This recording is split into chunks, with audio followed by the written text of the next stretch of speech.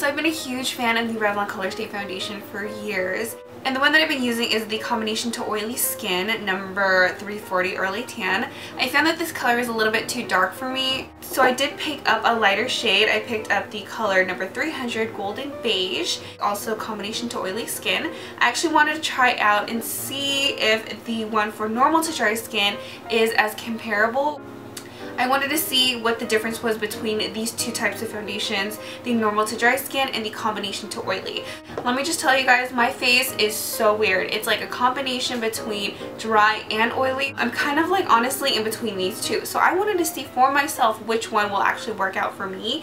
So I tried to pick up two colors that are pretty close to each other, um, but I found that the normal to dry skin colors I feel like were a little bit more pink um, as opposed to the combination to oily skin where I feel like there were more colors that had more of a yellow undertone but I don't know we'll see. I did pick up the shade number 240 medium beige and this one is to normal to dry skin. I'm going to do the combination to oily skin on the right side of my face and I'm going to take the normal to dry skin formula and do it on the left side of my face. I'm going to pour some into my hand I'm not going to pour a lot because I'm only doing the half side of my face. Um, this foundation, the Revlon Colorstay for oily skin, I feel like is a little bit thick as you can see, it does not move around. It's, I mean, it's liquidy, but it definitely is a thicker foundation. Alright. So this color, I feel like, is actually perfect. I was afraid that it was going to be too light, but no, it actually suits me perfectly. This foundation is really easy to blend and it covers up like no other. It has kind of like a sticky finish, but it has like a matte finish.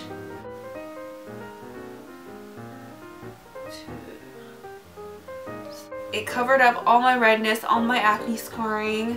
It really blended into my skin. There's no streaks whatsoever. Okay, so now I'm going to take the one for normal to dry skin, number 240 medium beige. I'm going to apply it to this side of my face. So the one for normal to dry skin, I noticed when I was pouring it out of the bottle into my hand, it it's actually a more liquidier consistency. It's not super thick like the one for combination to oily skin. One for normal to dry skin, definitely less thick. I'm able to blend it out so it does blend out pretty nicely honestly I feel like the coverage isn't as thick or it doesn't cover as much as the one for oily. It's a combination skin. But still easy to blend out. I don't really have to blend, it just kind of melts and disappears really quickly. Both have that kind of foundation smell. I mean, I don't mind the smell, but... Okay, so as far as the color, I feel like it matches okay. Um, I know my skin looks really, really light, but I feel like the lights are kind of washing me out in a way. So I'm going to finish up with the rest of my makeup and give it a couple minutes for it to set. Alrighty, so I finished up with the rest of my makeup. I did wait a couple minutes for it to set and I feel like it finally has set. I didn't apply powder to my face because I really wanted to see how this foundation will last throughout the whole day. Did notice that the one for oily to combination skin I feel like is a little bit more sticky whereas the one for normal to dry skin I feel like has kind of like a powdery kind of natural finish to it. The normal to dry skin formula is a little bit lighter in consistency. It does offer some really great coverage. Even though it is lighter in coverage, I feel like coverage is still pretty good. Um, I think it's very comparable to the one for oily to combination skin.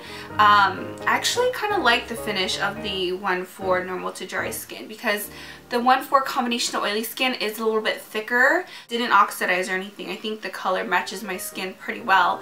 It is 1.44 in the afternoon and I will see you guys later on. So it is 10 o'clock at night. It's pretty much the end of the night. Didn't apply powder to set this foundation. I'm actually quite surprised because my face is not oily. It's not greasy and it kind of almost looks like I did apply powder. So I like how you don't have to actually apply that extra step when applying this foundation. Honestly, it's funny because even though these are two separate different formulas, it looks exactly the same. It definitely is a medium to full coverage foundation. The finish is exactly the same. My face is not oily, it's not greasy. It looks pretty much how it did earlier. And I mean, I've been out, I've run errands, I've I've done a lot of things today. So I'm really, really impressed. I thought one was going to be a lot different than the other because they're two different formulas, but honestly, they're the same exact things. The one for combination to oily skin, it can look and feel a little bit thicker, but once it sets into your skin and you go on throughout the rest of your day, it leaves like a, almost like a natural flawless face. So would I recommend one over the other? Probably not because they honestly do the same exact thing which is crazy. Um, even though the one for normal to dry skin looks and feels a little bit thinner when you apply it on. Essentially, they do the same exact thing. Uh, one doesn't feel heavier than the other. They both feel lightweight. The only thing I didn't like was the one for normal to dry skin is a little bit more pink as opposed to the combination oily skin one. It could be that I probably did pick up the wrong shade and there probably is one that has more of a yellow undertone but the one for normal to dry skin number 240 medium beige I feel like is a little bit too pink. If I look closely this side is a little bit more pinkier than this side. Um, Golden Beige, number 300, is definitely my color. It matches and suits me so perfectly. Again, this is the one for oily to combination skin. So you're to get the same result whether you pick up the combination to oily skin or the normal to dry skin.